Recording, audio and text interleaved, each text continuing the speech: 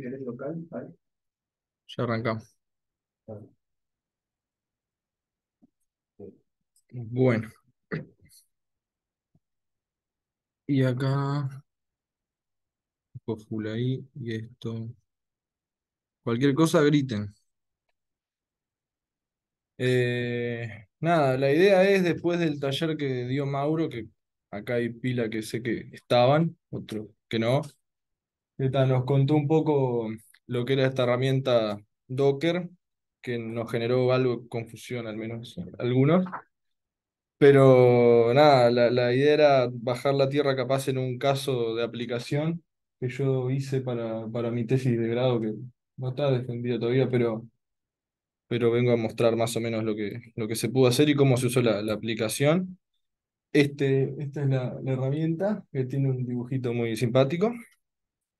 Lo de arriba son contenedores, que es una palabra que vamos a empezar a usar ahora. Eh, y nada, esto nos quedó de la presentación de Mauro en una diapositiva que él tenía, que proponía este- estas preguntas. Eh, mi idea hoy es tratar de contestar que, que sí a, esas tres, capaz que a esas dos de ahí abajo. Eh, y vamos a ver si, si se puede.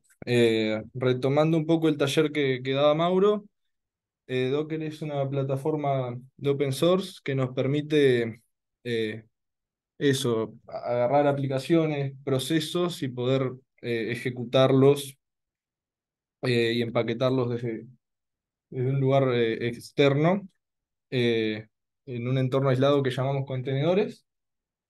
Y nada, permite para poder compartir los, los procesos que tengamos, enviarlos, ganar en reproducibilidad y demás. Eh, la jerga que vamos a usar son estos eh, tres conceptos. El Dockerfile, que es eh, un manifiesto que tiene las bases para las imágenes. Las imágenes van a instruir aquello que queremos crear, cómo hacerlo y qué usar para hacerlo. Y en los contenedores se van a ejecutar los procesos que queramos tener en ese lugar. Perdón, Rafa, ¿qué era el manifiesto el Dockerfile? ¿Qué- qué- El Dockerfile, para entenderlo, es eh, lo que está escrito. Es, es, es lo que es más parecido a un script que tenemos. La imagen eh, se genera a partir de las bases que tiene el manifiesto. eh, y la imagen sí es el entorno que tiene lo, lo que vamos a usar, todo subido, digamos. Y el contenedor ejecuta sobre eso, o sea, sigue las instrucciones que da la imagen y ahí genera el proceso. El contenedor solamente tiene un fin práctico. Eh, mientras hace cosas existe, una vez que las termina se va y nos deja las cosas y le pusimos una ruta para que nos las guarde. Entonces nosotros solo lo que tenemos guardado son las imágenes y creamos un contenedor para, para Sí, pero el Dockerfile es lo que nos permite eh, levantar la imagen, por Ok. llamarlo burdamente. Espero que ¿Son Mauro... más bases? ¿Qué son? ¿Ba- ¿Bases en qué sentido? ¿Eh? Cuando dijiste- Decís que tenés bases en el Dockerfile. No, bases es no por base de datos, que Por eso, tam- claro, también claro. están ahí, sino que es como todo, o sea, le das las instrucciones de qué va a hacer y con qué, y tiene todo ahí. Entonces eso lo, lo va a subir y ahí es que se da la imagen. Y Mauro que me pueda corregir acá.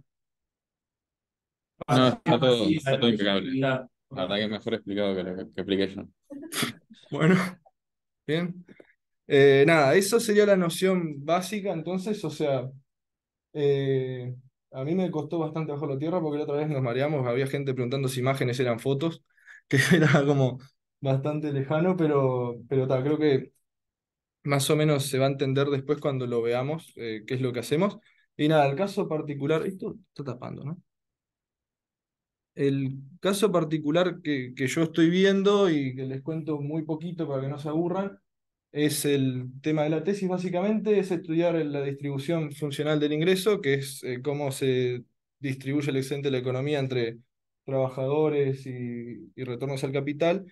La idea básica es que los trabajadores tienen muchas heterogeneidades, entonces sería relevante analizarlos por separado en algún tipo de, de grupo que los distinga. Y nada, la idea era usar técnicas de análisis multivariado para con distintas características, dividir grupos marcadamente diferentes y después ver cómo se reparte el ingreso entre ellos, sin contar el ingreso entre lo que los divide, ¿no? Eso se hace eh, después. Eh, nada, entonces la idea es generar esa partición de, trabajadores y, y analizar esa, la, la composición de la masa salarial. Esto tiene algunos desafíos que identifico acá. Vamos a tener que, voy a identificar grupos, después clasificar a otros individuos en esos grupos. Va a ser necesario que el modelo que clasifica esté validado, o sea, ver que, esté funcionando bien. Vamos a tener datos básicamente todos categóricos, entonces es como una particularidad del análisis hacer. Vamos a tener que considerar distintas dimensiones o variables a la vez, y la idea es abarcar un periodo de tiempo. Y los datos son de encuestas continuas hogares. Ah, Marco. Eh, nada, la- la- se van a usar encuestas continuas hogares que por las características de la técnica eh, se van a usar expandidas, entonces estamos hablando de que trabajamos con millón y medio de datos. Ah, perdón. Quedó raro, ¿no? Ahí. Y estas serían las, las cosas a hacer eh, según el problema y, y- las técnicas para enfrentarlo. En primera instancia se propone el análisis de clúster para identificar los grupos. Entonces estamos hablando de una técnica no supervisada, no sabemos la Y, que serían los grupos que tenemos que encontrar.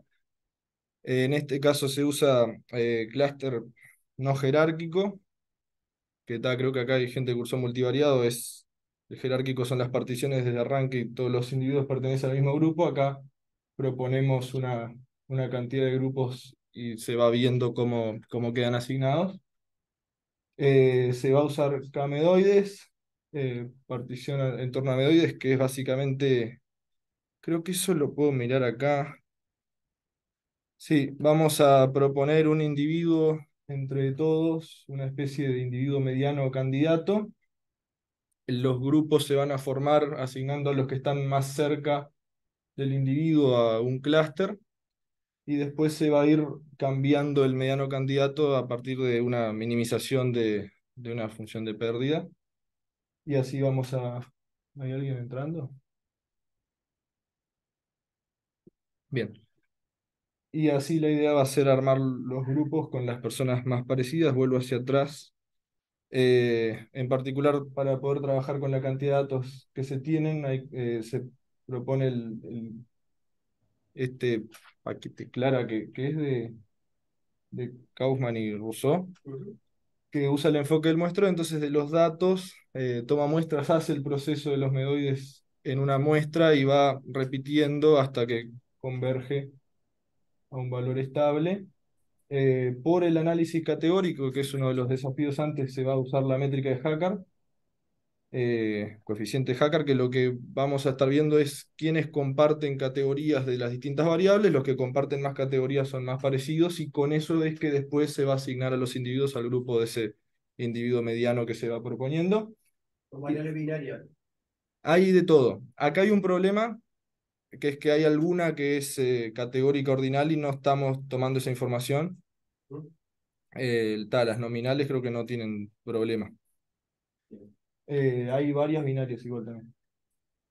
Eh, acá usamos la librería cluster que ya viene dada. Este es el código que, que tengo yo particularmente. La acá es la cantidad de grupos, que en este caso son cuatro. Pero nada, era solo para otra que teníamos eso. Y bueno, lo otro es, una vez que se tiene eh, la partición de grupos, que se va a hacer en un año base por esta cuestión de, la consideración del tiempo, sobre los demás años, con lo que aprendimos de, estas diferencias entre trabajadores del grupo de- del año base, vamos a ir y aplicar alguna técnica que permita clasificar a los individuos de otros años en estos grupos formados en el año base. Para eso se propone el discriminante, en particular el logístico, que si no recuerdo mal estaba recomendado para eh, variables categóricas. Y como tenemos más de dos grupos, más gente, como tenemos eh, más de dos grupos, vamos a decir que, la, eh, que vamos a poner una distribución multinomial, lo que tenemos acá son las pruebas logarítmicas. O sea, básicamente lo que queremos ver es la probabilidad de pertenecer a un grupo respecto a otro según una característica específica. Eh, si no recuerdo mal, para esto usamos, o sea, hay 23 características en total entre las categorías de cada variable, siempre dejando una libre. Eh, y tal, el modelo este va a estimar 69 parámetros y tiene tres funciones de, de enlace. Y lo que vamos a hacer es asignar al individuo donde la log verosimilitud sea más alta. Y nada. Eh, acá, no sé si tengo más. Bien. La idea es que este modelo tenemos que validarlo de alguna forma. Eh, lo que es más habitual es tomar la precisión, que es cantidad de eh, bien predecidos sobre el total. Y el, esto es bastante relevante porque la idea es usar el modelo en datos externos al año base. O sea, no estamos... O sea, la idea es salir de, de- de- los datos que usamos el modelo y, tratar a otros. Y acá nuestro problema a ser el overfitting o sobreajuste, que es que para ver realmente el desempeño de este modelo, si lo validamos sobre los mismos datos con los que se ajusta, es probable que estemos siendo demasiado optimistas con la capacidad de- del modelo. Y lo que se propone acá es usar eh, la validación cruzada, eh, que básicamente lo que hace es dividir los datos en distintos pliegues. Entonces lo que nos asegura es que estemos usando para el testeo y para el ajuste del modelo a todos los datos y después vamos a tener con eso un promedio de la precisión que nos puede acercar más a lo que realmente queremos. En este caso hay una librería que es Caret, que creo que la, el que la hace viene al LatinR, Sí. Kun. Así que dijeron que venía, así que nada, pero no la vamos a usar, que no se enoje. Eh, la idea va a ser- o sea, la idea es eh, toda esta implementación de la evaluación cruzada, hacerla programada en código, eh, que ahora tiene alguna ventaja que vamos a ver. Nada, lo que nos... una cosa que quería apuntar es el tema de la validación cruzada. Hay algunos, algunas implementaciones que hacen esto del tuneo del modelo. No va a ser el caso, creo que es porque me comentó Mauro que la multinomial para, que, para tunearla tiene que ser regularizada. Yo de eso no entiendo, pero le creo. Eh, entonces, la idea es que en esta aplicación distinta de validación cruzada, lo que se hace es que de los datos originales se dejan unos que nunca se usan en- la partición de los, de los pliegues y después se van a testear al final y con eso se hace el tuneo. Eh, nuestra implementación es de este tipo, no como esa. Así que nada, nunca vamos a dejar eh, nada libre. Y bien, el problema que había era cómo hacer esto de una forma más eficiente, porque teníamos, o sea, estamos hablando que tenemos que separar aquí, correr, eh, o sea, ajustar el modelo en cada uno de los entrenamientos. La, la implementación esta tiene 10 plie- pliegues, así que hay que hacerlo 10 veces. Y después hacer el predict, o sea, testear eh, en las, en las muestras, en los pliegues de testeo. Y nada, hay algo que es importante, que es que este, esta implementación es paralelizable. O sea, la idea es que todo esto no, no tiene una secuencia necesaria, sino que cada uno de estos ajustes sobre los entrenamientos y después predicciones sobre el testeo se pueden hacer a la vez. Y eso nos da mucha más eh, velocidad. Acá lo que tenemos es... Yo todas estas ilustraciones las robé. No sé bien... Estás la parte de la paralización. Sí, Porque Eh, cuando decís programación funcional, quiere decir que lo que estás haciendo es, es, a través de funciones que vas a hacer, intentar implementar eso. No, pues, me, me imaginaba que era otra cosa, programación funcional. no, no, más tranquilo. ta. Y la otra pregunta es, eh, dijiste que estaban, eh, para tener una idea eh, de por qué se justifica el Clara, ¿qué cantidad de datos estaban manejando? O dijiste que habías expandido datos, Sí, entonces, eh, eh, ¿sobre qué tamaño de tabla de datos estás trabajando? millón y medio. Yo no medio registro. Sí. Y ahí había una cuestión también que es que la métrica ideal que hubiera querido usar sería Gower, Sí.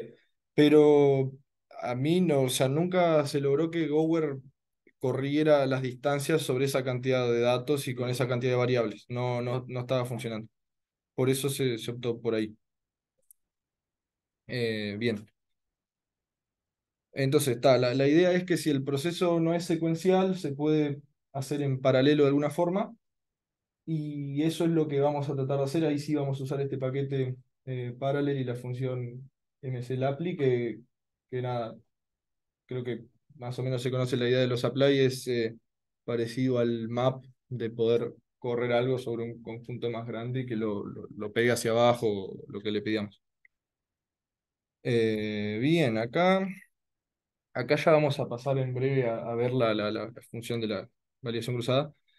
Eh, algunas cosas que yo noté para decir, para tener atención al, pensar en usar esto en Docker. Eh, yo soy bastante prolijo para escribir en código, entonces una cosa importante sería poder separar y ordenar los códigos, o sea, tener scripts separados que hacen cosas particulares en sus carpetas y después llamarlos a un, a un lugar base que reúne todo. Eso es importante.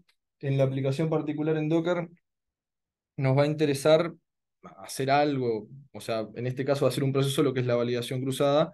Por ejemplo, la parte que les mostré del código de los clusters no va a entrar en Docker, eso queda por fuera, se hace antes eh, y ya se le da los datos para que, para que aplique la validación cruzada nada más. Entonces, es identificar qué es aquello que realmente queremos hacer y no darle más cosas, sino que solamente hace un proceso particular. Eh, solamente vamos a cargar los paquetes que realmente necesitamos también. Eh, y tenemos que tener claro qué es lo que queremos. En este caso vamos a pedirle la precisión.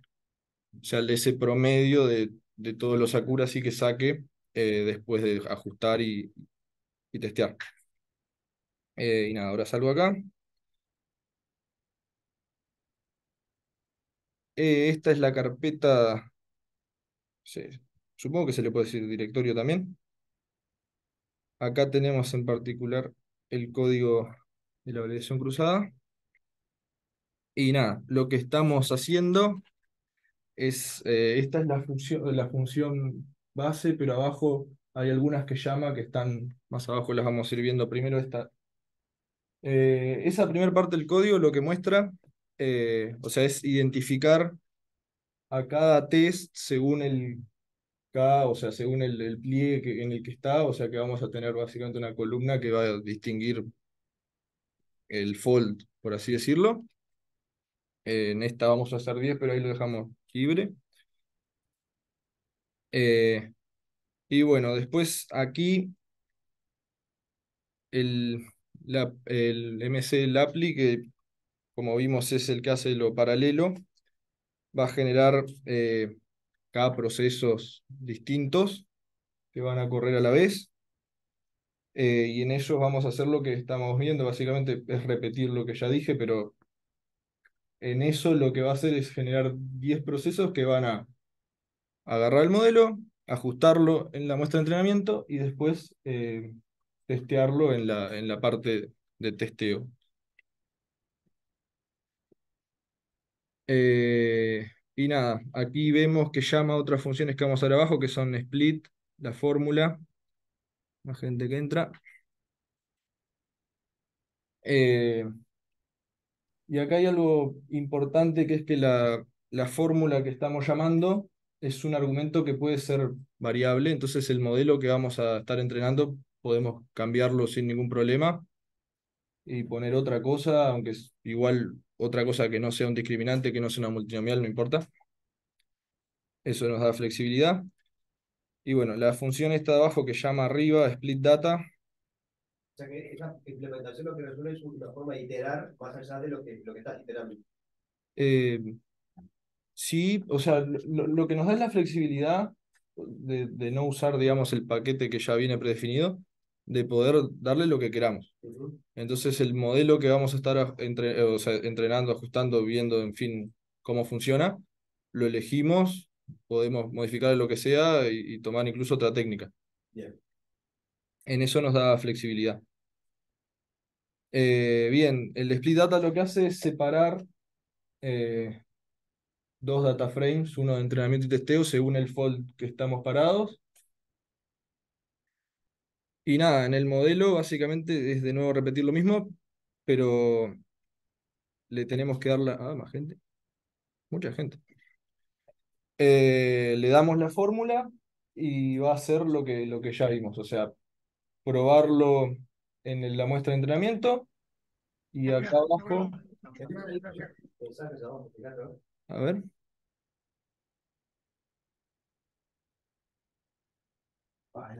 Esto es hace un rato, pero lo que está diciendo es del, del paquete del caret. Pueden hablar. No, que lo, que lo que decía hace un rato, que Max Kuhn, que es el que viene ahora en Latin en octubre, es el creador de Tidy Models y el también de Caret, y estaría bueno que sacarle el- la mayor cantidad de información posible ahora en octubre. ¿Distorsionarlo o ir a verlo? No, Eh, no, ir a verlo. Sí, hay que ir a verlo. Eh, bien, nada, y después ya sobre el final lo último es que tenemos el predict acá abajo que va a ver en el testeo y lo que nos va a devolver esto, o sea, en realidad no esto, sino la función de arriba, eh, va a ser los datos con su pertenencia al grupo original y con el valor predicho en cada una de estas iteraciones eh, cuando el fold ese está usado como testeo. Entonces con eso podemos después calcular la, la precisión. Eh, nada, acá ese, ese otro blog no lo usamos, así que no. Ni lo miren. Pero nada, acá lo que vamos a correr es, bueno, levantar los datos que tenemos seleccionados acá, hacer algún cambio necesario para correr nomás. Y ya sobre el final, eh, acá es donde le pedimos a la función que use eh, 10 pliegues, le damos la, la fórmula de la multinomial, que va a ser esa ahí, que es la misma que estaba en las diapositivas. Y después lo que le pedimos básicamente es que haga la, la diagonal eh, de los bien clasificados sobre el total de datos para ver la, la precisión, pero promedio, o sea, promediada no, pero está para las distintas iteraciones, así que nos va a dar en realidad el promedio también. Eh, bien, así que esto podemos ya hacerlo. Para Fa- Fabricio, una cosa es justo que estás ahí.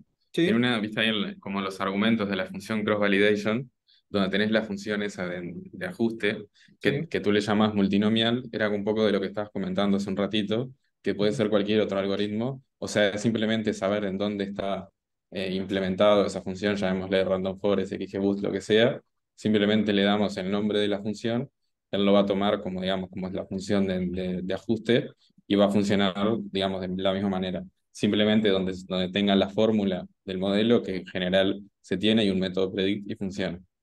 Así que eso está bastante flexible. Y es un poco la idea de cómo está hecho el caret y el tidy model también. Sí, acá la idea va a ser eh, que es, por cómo está planteado el problema, simplemente que sea una, función que clasifique a- más allá del modelo que tomemos. En este caso es multinomial, pero tenemos la flexibilidad de ponerle cualquier cosa. Así que eso es un valor que después también creo que está anotado por ahí. Eh, bien, entonces, ahora vamos de nuevo a Docker. Esto es básicamente R, repetir que lo que estamos viendo es tratar de implementar en Docker un proceso de R. Hasta ahora yo mostré R, Docker es otra cosa, pero, pero nada, básicamente estamos corriendo un proceso de R que es lo que vamos a usar. Eh, para Docker, solamente en este caso vamos a precisar estos dos comandos, eh, que son el Docker build. Mauro nos mostró varios más, como para poder ver qué procesos están y demás. Vamos a hacerlo solo con, con los que necesitamos para este caso. Eh, volviendo a la cuestión manifiesto, o sea, Dockerfile, imagen, contenedores, eh, el Docker build va a pasar del Dockerfile a la imagen, generando, o sea, le da las instrucciones de qué es lo que va a usar, lo tenemos acá para mirarlo.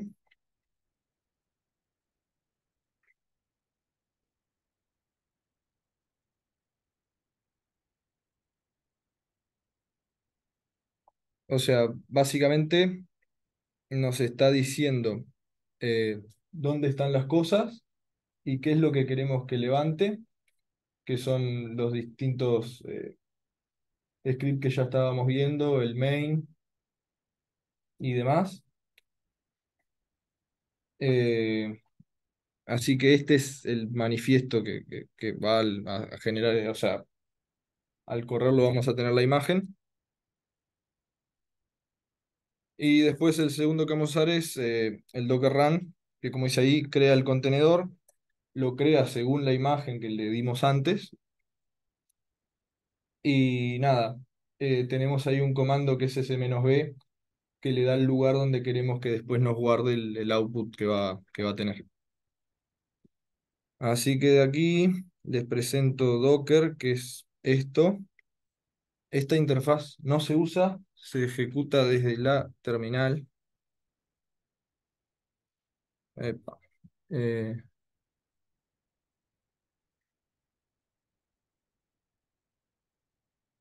así que yo voy a venir acá y copiarme el comando nomás. Nos tenemos que parar en el directorio que estamos. Yo como soy desprolijo pongo todo en el eh, escritorio. La carpeta se llama CD por Cross Validation. Estamos adentro. Y a ver si anda.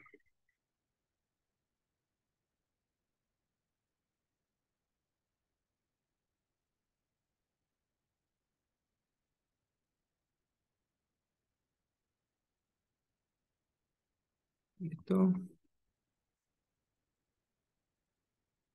Que no veo para, para andar. Esto demora un poquito, pero demora mucho menos que correrlo local. Eh, creo que ya corrió igual acá, pero esto sí va a demorar un poco más. Así que es cuestión de dejarlo corriendo. Y venimos a la presentación a comentar ya lo último, que es que qué ventajas nos puede dar esta, este camino de, de decidir usar Docker y, para qué, o sea, qué nos está dando este, esta complicación. Eh, en principio lo que nos da seguro es eh, reproducibilidad, o sea, esto se va a poder ejecutar en cualquier máquina, se lo manda a alguien que lo use, pone los comandos y tiene el resultado que queremos. La flexibilidad para cambiar el modelo, para testear otro tipo de cosas. Seguro. La eficiencia en términos de velocidad, poder paralelizar y demás. Después esta cuestión de la portabilidad, todas estas cosas creo que ya las había comentado Mauro sobre el final del, del anterior. Está bueno retomarlas. Que es que no necesitamos tener una computadora con R para correr nuestro código. Simplemente conseguimos la imagen y a- le damos los comandos estos y tenemos el resultado alojado en donde queramos. Eso tiene bastantes posibilidades. Y todo eso nos da también la ventaja de poder compartir el código, dejarlo para que gente lo revise. En este tipo de tesis, por lo menos yo encuentro que nadie se fija mucho en los códigos, pero entiendo que en cualquier trabajo serio uno tiene que mandar lo que hizo para que lo vean y puedan ver si realmente está bien o si realmente existe, funciona. Sobre todo si lo quieres publicar. Claro, entonces en esos términos es una ventaja tremenda porque le vas a llevar tu computadora con, la sesión de reestudio. Para que lo ocurra uno, no, no, no estaría dando. Eh, y después nada, que se puede considerar que es, te, te ordena la forma de hacer las cosas porque vas a ir haciendo cada proceso por separado, ordenar los scripts y tener la, la idea de, no sé, yo en particular en, en, este trabajo llegué a tener un RMD horrible de 2000 líneas totalmente inútil, que si hubiera, o sea, que después me puse a, a separar cosas y guardar en otras partes, y en realidad lo que estaba haciendo era simplemente ineficiente. Y nada, permite como localizar más lo que está trabajando uno en ese momento para también estar más enfocado y, y poder encontrar errores más fácil. Y nada, también al permitir ejecutar separado, permite ver los resultados aparte y poder compartir incluso intermedios, o sea, resultados intermedios. Y a ver si esto corrió.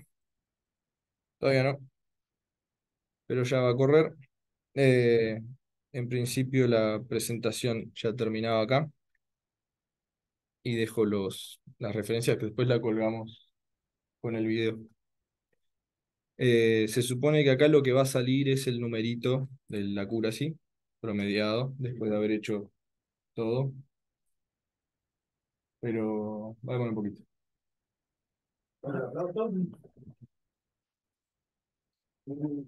Eh, más allá de que sale ese numerito, eh, ¿en algún momento guardás un RData o algo por el estilo? Acá se guardan unos archivos en... Hay aplausos también en Zoom. Eh, se guardan unos archivos en la carpeta output acá, pero para este caso en particular no nos son muy útiles. Eh, no- o sea, si queremos correr otro tipo de cosa, acá en esta carpeta, que es eh, a lo que le estamos indicando en este código. no, acá no. ¿Para qué? Creo que me quedo acá arriba. En el... No, en el readme, sí. Sí. Acá abajo en el Docker Run, creo que es. Sí, tenemos ahí el menos B que te termina en, en la carpeta output, que después acá viene y te guarda lo que le pidas. En este caso no le pedimos nada porque no queríamos ningún tipo de, de dato ni nada, pero lo, lo hace. Acá lo que nos va a devolver es el número fijo en la consola, que es lo que queremos. Lo mismo que acá le pedimos la precisión, pero le podríamos haber pedido el error, lo que hubiéramos querido, y nos lo va a dar. Eh, ahí es cuestión de identificar qué es lo que quieres del proceso para que pedirle que te dé eso exactamente. Una pregunta. Eh, para la parte de Cloud Validation, no sé si fijas una semilla o. Sí. Sí. Porque ahora me pareció en una parte del código algo que decía. Sí, está. Sí, pero. En, en realidad hay una semilla inicial donde se hace la, la, la parte, o sea, la, la asignación de los false, digamos, de identificarlos, que esa es el, el arranque pseudo aleatorio, pero después eh, está fijada y to- toma siempre lo mismo. Sí, una, una cosa agregar eso, que, o sea, que cada una de las semillas es para ca- cada uno de los core, o sea, no necesariamente tenés una semilla única, porque si no, de esa manera los core estarían repitiendo el mismo proceso. Claro. Y también agregando un- una cosa más de lo que agregaste por ahí, es que los RDS que están ahí guardados son, digamos, la salida, los objetos modelos de cada una, de cada una de las multinomiales de la cross validation.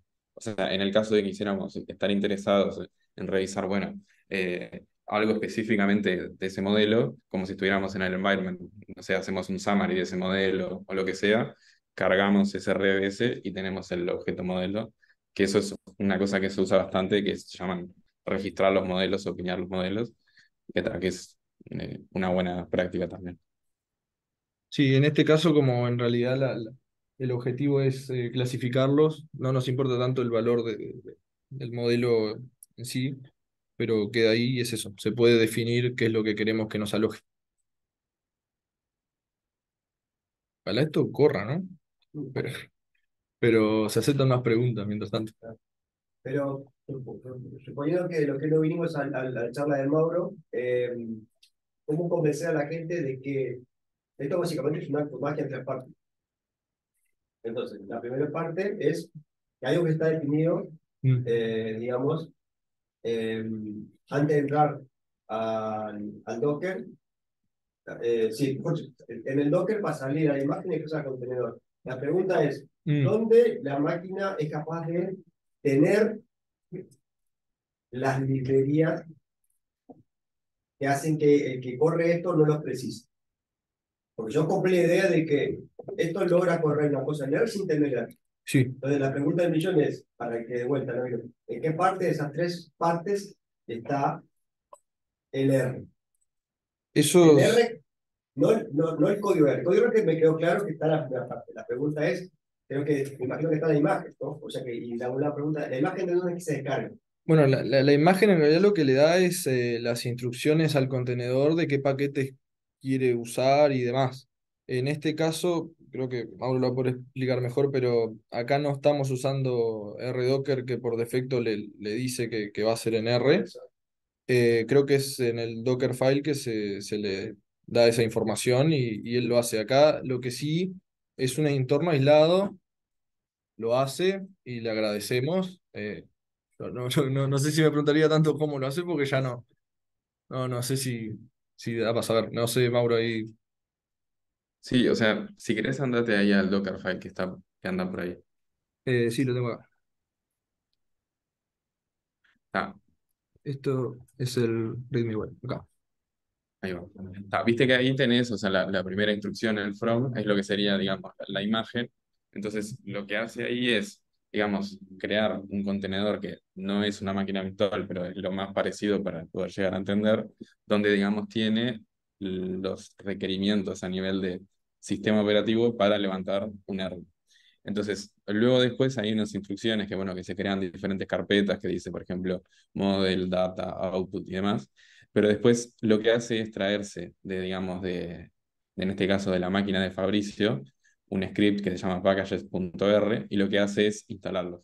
Donde, donde dice en esa parte donde dice run rscript, packages.r. Entonces, eso es lo que nos va a decir, bueno, voy a levantar algo parecido a una máquina virtual, que no es una máquina virtual porque es más liviana y no tiene las dependencias de, del sistema operativo y demás, pero eh, lo que hace es, eh, hacer eso básicamente y nada más. Y si querés puedes mostrarles el script de ese package.r y mostrarle el contenido que tiene. El package está acá, ¿no? Sí. En, ahí va. Sí. Ah, eso, eso es, eh, simplemente es, o sea, hace un vector con los, con los nombres de los paquetes y después llama la función que, que instala paquetes en R de forma común. Y una de las cosas también no menor que el hecho de, de que nosotros lo estemos haciendo en Docker y con un contenedor es que, ejemplo, Fabricio tiene Windows, pero eh, en un contenedor tenemos Ubuntu, Linux o lo que sea. Entonces, nos da la ventaja que, por ejemplo, las implementaciones de hacerlo en paralelo no están, o sea, no están disponibles en Windows, pero sí en Linux sí. Entonces nos da una ventaja también adicional.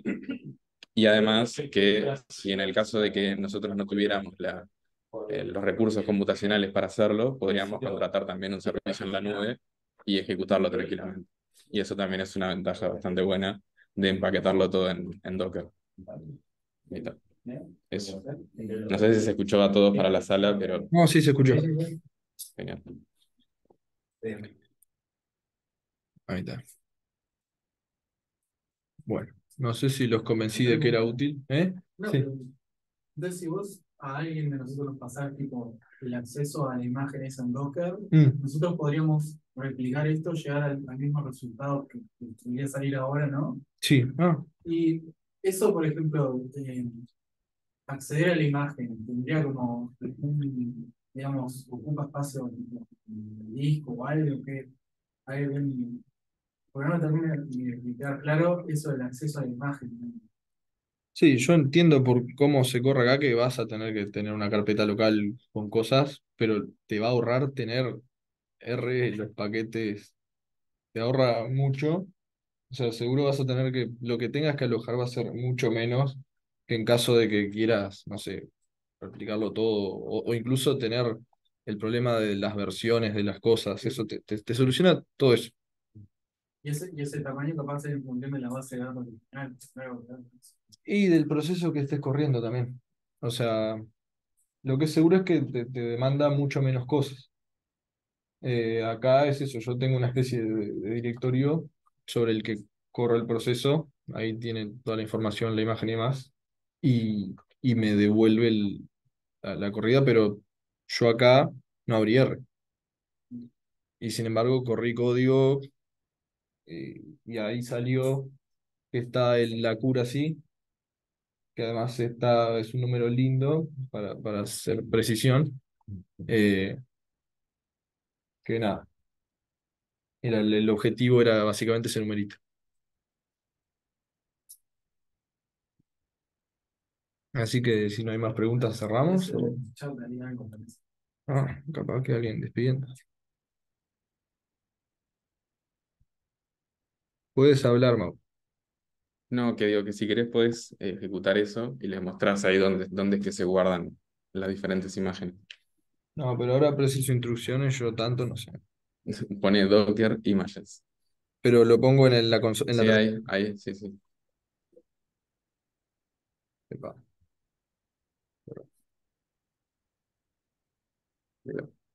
Dale enter igual, te lo. Está. Viste que ahí, por ejemplo, Fabricio solo tiene una imagen, que es la que generó hace un ratito con el Docker build. Pero, por ejemplo, si ustedes buscan alguna otra imagen en el Docker Hub, ejemplo, eh, la oficial de R, que es, eh, digamos, una que es bastante pesada, pueden también ejecutarlo, pueden ejecutar R sin tener que instalárselo. Sin, o sea, lo que sí van a tener es el tamaño de la imagen en sí en disco, pero va a ser mucho menos, o sea, va a ser mucho más liviano que hacer la instalación entera. Eso. Y la vieron que la, la, la interfaz de la aplicación en sí no, no se la usó, sino que está acá aparece el proceso que corrió, pero no la tocamos. Se hace desde terminar. ¿Y al final cuánto queda la cura chica? 94 con. 25 le queda. Ahí va. 24, 25. Yo estoy conforme. El tema es que todo este trabajo era por un numerito que va a aparecer ahí. No, no. En economía no les importa mucho todo esto. Solo está el numerito. Está bien, pero bueno. Había que hacerlo bien. Ahí son 10 fuertes y corridos cuántas veces? Eh, no, creo que es- son los 10 nomás. eh, Un día más. sí, sí, sí. Las 10 corridas son los 10 entrenamientos. ¿Y, y, y todas son parte del testeo? ¿Todas las, todas las observaciones en algún momento? No. Eh, sí, sí, todas se testean. eh, porque cada, cada observación queda asignada a un fold que va a usar, en- va a usarse en testeo en algún momento, todo así.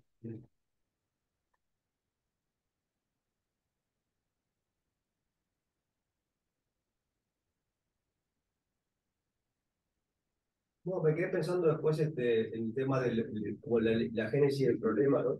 Eh, que arranca con la expansión de datos. Mm. Ahora, eh, antes de expandir, ¿cuántos datos tenían? No, la- las muestras de la, de la SH. Estamos hablando de 40.000. Ah, Y, y, perdón, otra cosa. Eso es para el primer año, porque acá todo lo que haces es para la muestra del primer año. Eh, sí, porque es sobre la que están hechos los clusters y se conoce la, la pertenencia al grupo. este, porque, no, cuando expandís, si pasás una relación de 40.000 a un millón, debe ser algo así como 40 el factor de expansión en promedio, no sé, estoy pensando. Y si ve la cuenta, ¿no? Eh, no sé, pero Supongo. vamos a ponerle que sí. Ya, Pero lo que pasa es que, si yo entiendo bien, cuando vos expandís, si tenés una, una, una fila que tiene un factor de expansión de 40, Mm, cuando la expandís es como que la repetís 40 veces y está a la distancia cero cada fila. sí.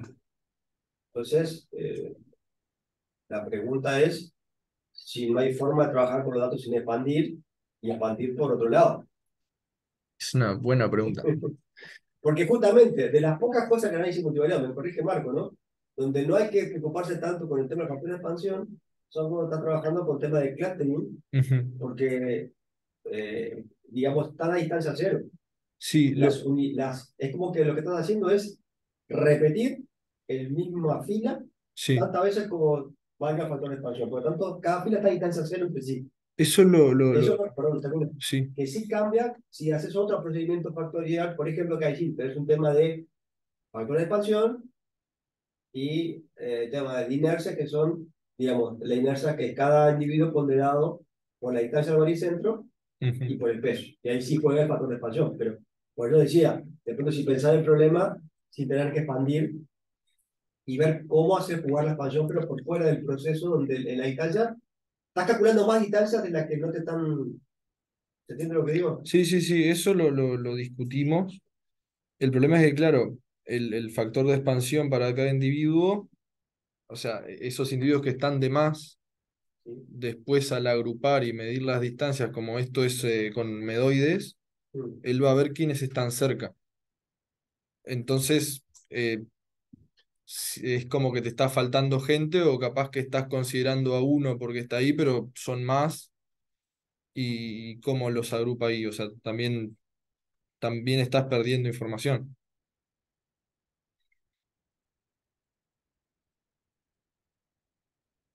Mm. Nosotros, o sea, se probaron los dos caminos y el tema es que daba de- distinto. Eh, y, y para mí, sin, sin expandir, también hay, hay un problema que es que al ver los individuos. expandir. Yo lo que digo es no clusterizar habiendo expandido. Sí, sí, sí. Lo que digo es expandir Mm, Bueno, Sí, no sé cómo se hace. Si, si se puede probarlo, ven. Pero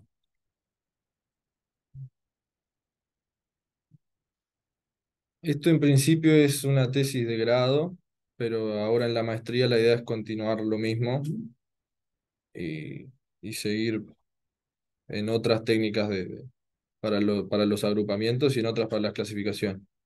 mm. Así que todo eso sirve. Porque, por ejemplo, la, la función de SANEMED no permite eh, incorporarle pesos Eh, al modelo. No sé, creo que no. Habría que verlo. Igual ahí ya están armados los grupos. O sea, en ese caso ya los armaste sin expandir y no sé, no me convence mucho que, que si hay un individuo que son que vale por 30 y uno que vale por 5, al ver las distancias, no sé cómo clusteriza ahí de los Sí, sí, ahí ya camedoides. está el tema de la, de está. Sí, tiene que, tiene que hacerse, o sea, El tema el de, de trabajar con una, con una encuesta, o sea, una muestra, tiene que verse en el momento de hacer los grupos para solucionar eso. Igual acá ya cerramos lo de Docker, yo le daría por finalizado a la gente del Zoom que no los quiero aburrir con, con los grupos y la... Así que nada, eh, cierro acá. No sé si... ¿Qué es esto? ¿Qué quieres, Mauro? Si corro esto. contenedor, pues, pues todas las partículas de. Bueno, eh, despedimos acá al, al Zoom.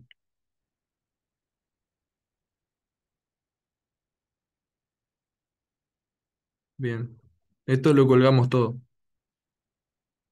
Así que nada.